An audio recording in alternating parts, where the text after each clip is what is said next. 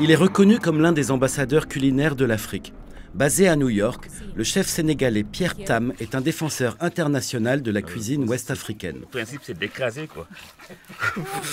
Mais ici, dans la région semi-aride sahélienne du Tchad, il lui reste encore beaucoup à apprendre de l'utilisation du sésame, un ingrédient clé des plats locaux. Je peux goûter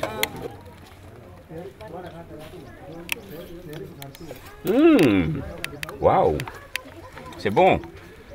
Ça a un goût de. un peu, un peu fumé là. Ça a un goût de chocolat presque. Hein?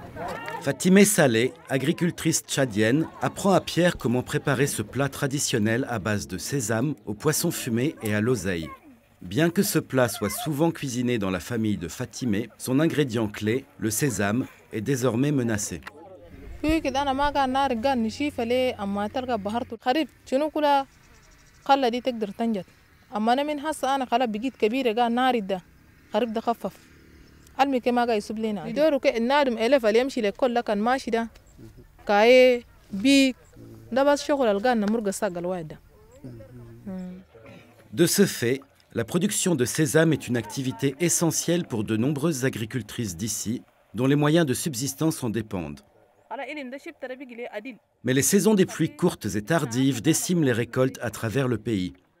Dans cette communauté, un projet soutenu par le Fonds international de développement agricole, ou le FIDA, appuie les agricultrices à trouver une solution.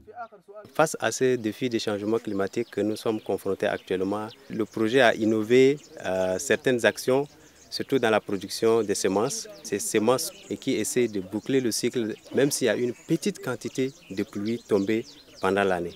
Ces semences à maturation rapide qui peuvent être récoltées malgré la courte saison des pluies sont distribuées à travers des champs-écoles paysans où Fatimé et d'autres apprennent également la rotation des cultures, l'agriculture biologique et comment analyser les informations météorologiques afin de mieux s'adapter aux changements climatiques. Ils répliquent ensuite ces techniques dans leurs propres parcelles. Et vous voyez les résultats, voilà, toutes les fleurs sont là, ça veut dire que la récolte va se faire dans moins d'un mois. Et vous pouvez d'ailleurs voir quand les graines de sésame sont ouvertes. Vous voyez qu'elles sont pratiquement matures. Hein? Pratiquement matures et on peut les goûter. Et voilà, vous voyez, la sésame, elle est prête. Et donc c'est une, une culture qui est très importante traditionnellement ici, mais maintenant avec ces méthodes qui permettent de, de, mitiger vraiment le, changement climatique, ça change tout. Ça, renforce la sécurité alimentaire de, cette zone. Et il n'y a pas de prix pour ça. De retour en cuisine, les chefs ont les ingrédients dont ils ont besoin pour se mettre au travail.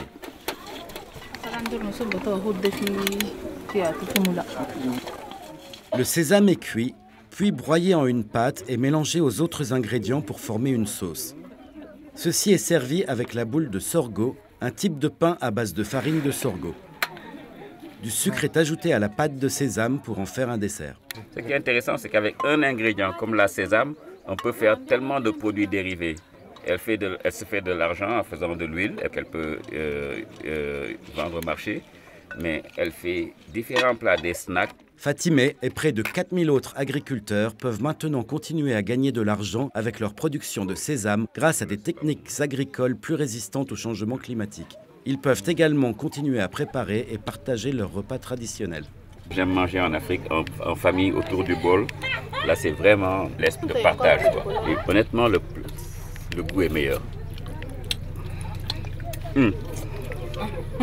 ça, ça va. C'est bon, hein? C'est bon. bon.